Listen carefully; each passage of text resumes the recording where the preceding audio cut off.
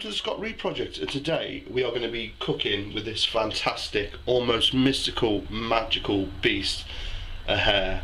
As you can see, it's quite a big beastie. There's a lot of meat on it. We're going to do a couple of dishes from this. I mean, this is the athlete of the fields. Give Usain Bolt a run for his money. But it's come already gutted. Obviously, the traditional way with this is to leave the guts in and use the blood to thicken whatever sauce, you know, your stew or your casserole. But the weather's so hot, you know, and I'm not a big fan of leaving the guts in, obviously, for obvious reasons that we've gutted it, which does us a favour, it leaves the meat, you know, not so gamey. So what we're going to do then is we're going to take the jacket off and we are going to cut it into desirable pieces. As you can see then with it lying on the block, it really is hell of halibut animal. From paw to paw, 31 inches. And that's a small one. Right, let's get this started then. So, same as a rabbit, find between the skin and the flesh, and then just gently undress it. Take your time.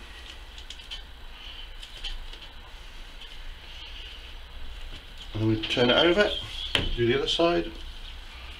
Like I said, you know, traditionally left with the guts in, but obviously if you leave the guts in overnight, you know, same old story, do you hang it for a couple of days, it is mega gamey. And I don't think people really like that game taste anymore. It was a very, very Edwardian Victorian thing to do, hanging game. As you can see, this has been shot in the engine room so there's a bit of shot damage. But luckily most of the loin is in good nick. Push his arm through.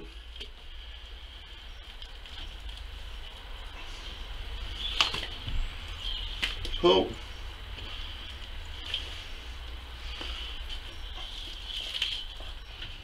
And then off with his head I mean, it's the same old story with any wild harvest game. You're always going to get some shot damage if it's not shot in the head.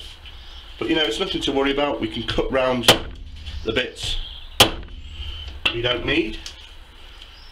Right, I'm going to work on getting the rest of this back end sorted. So I think straight off, it's going to go snap his legs out.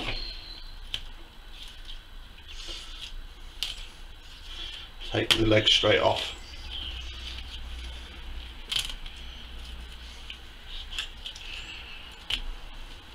And get rid of that bit. Now, a bit of shot damage like I said, so I should take front legs off as you can see. That's just the name of the game baby and you're left with the loin. As you can see there's a bit of shot damage on the loin but we should salvage some of this.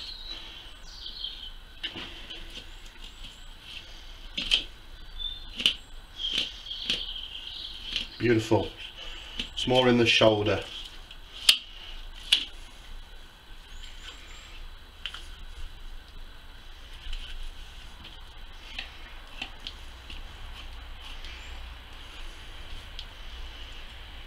And that is the nugget of meat we are after.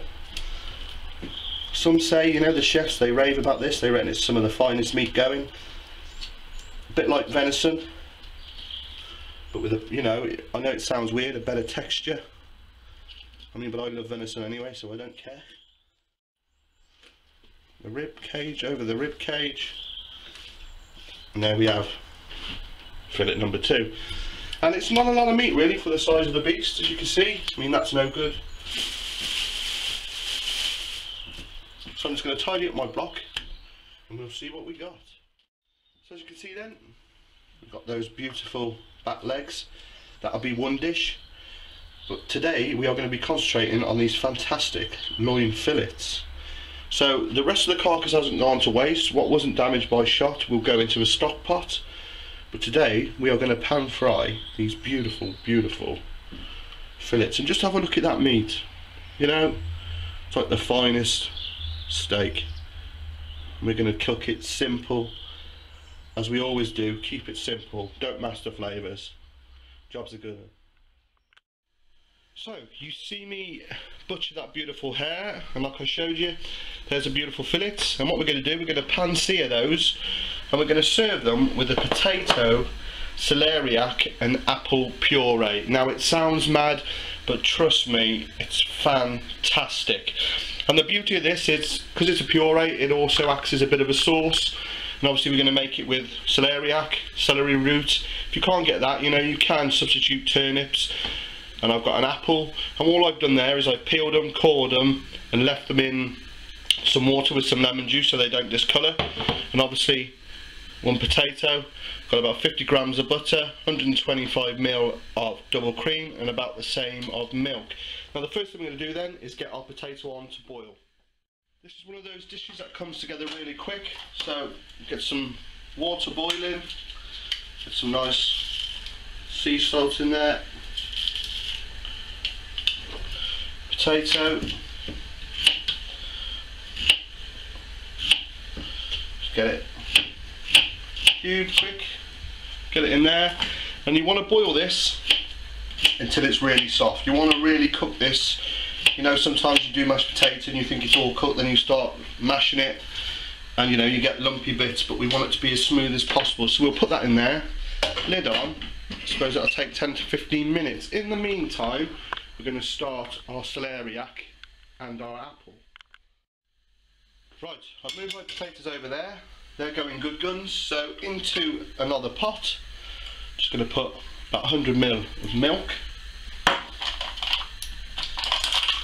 Same with double cream. And obviously this will make the sauce element give it a bit of moisture. And then about 50 grams of butter I'm going to put in and as soon as that butter starts to melt we will get our celeriac in which I shall just chop now ready. Nice and small so you can puree it. Like I said you don't puree the potato because it goes all mushy but you can puree these obviously with a stick blender. So as you can see in there then slowly that butter's starting to melt. Help it along a bit give it a bit more heat so what I shall do is in with my celeriac and the beauty of this is once it's made you can keep this warm or let it cool down and reheat it. It's a cracking cracking puree. Get them in,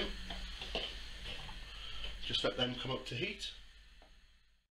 So while I'm waiting for those to steam and cook, I just want to take off that silver skin. And it's the same principle as if you were filleting a fish.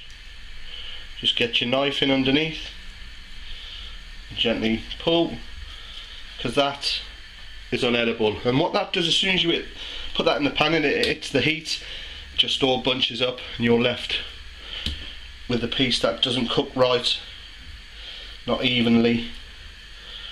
Just like that. I mean, that's fantastic looking, isn't it, really? Hey? Good old hare. So I'm just going to season up my hare then. So I just put some pepper on a plate. I'm not going to add any salt at this uh, stage because it can toughen it up. Get plenty of pepper on.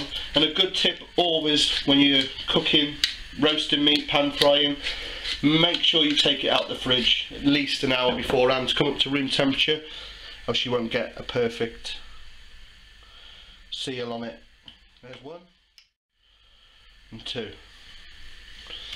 And this dish, once that's already done, the puree, this takes about five or six minutes. You're talking about 30 minutes on the plate. So my potatoes cooked. What I'm going to do First bit of kick going. Pass them through the potato ricer. You get the ultimate mashed potato. And then we'll put this to one side and keep this warm and wait for the celeriac and the apples to simmer nicely. You can see that's going to be beautiful and smooth. My celeriac and the apple are soft enough now, so I'm going to take them off the heat get some heat under that pan, ready to sear that hare loin. There's my potatoes. Quickly whiz through my celeriac and apple.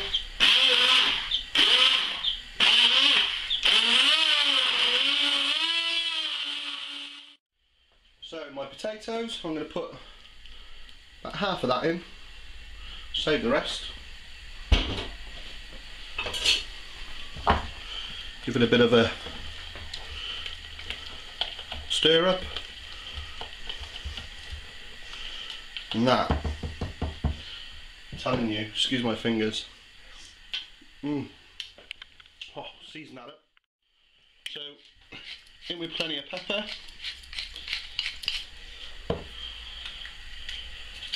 Some nice sea salt.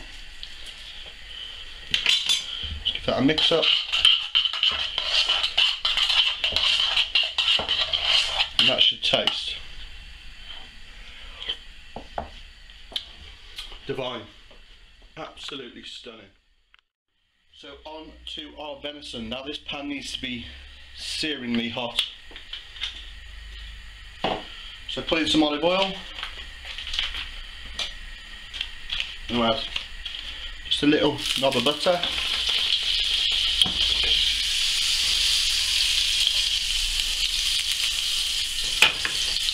Take one of our fillets.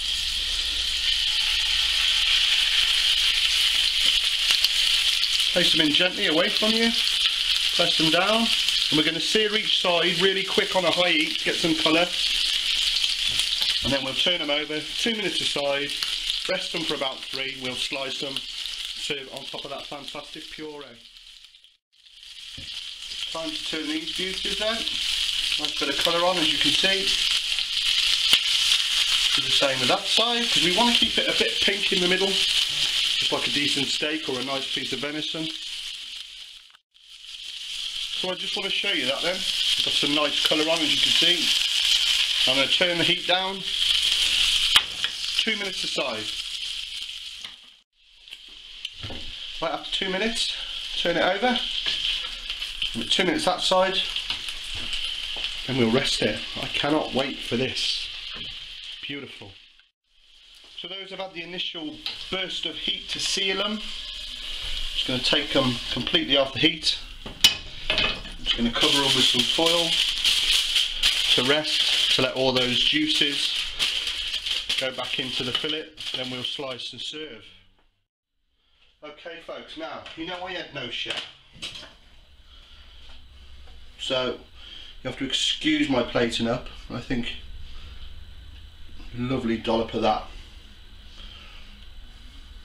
right in the centre. You know, excuse my plating up. You know, I'm only a cook.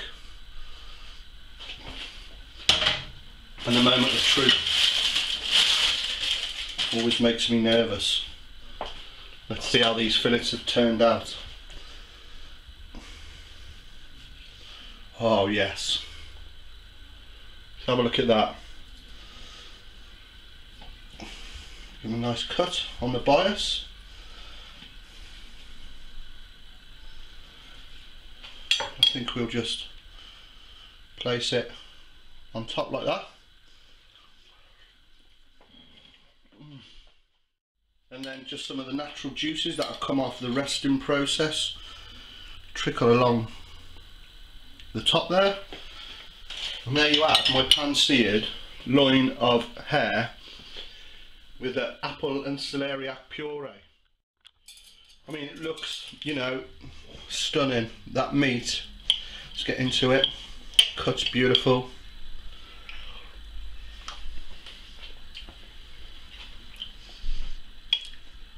just absolutely amazing. Really, really amazing. That meat is like the finest, finest fillet steak. And with that puree, I know it doesn't look much on the plate. Honestly, that is absolutely stunning. And if you like what I've done there today, please subscribe to the channel. I release a video every week, so subscribe so you don't miss it. Also, catch me on Twitter, look up there at the Scott Rea Project. I'm there, you know, I try to answer your questions as soon as I can. But give this a go, I mean, this is blowing me away. I can't stop eating it. Next week, it'll be the hare legs. Thanks for watching. See you again. Right, let's have this. It was so good. I had to eat the other one all to myself. Mm.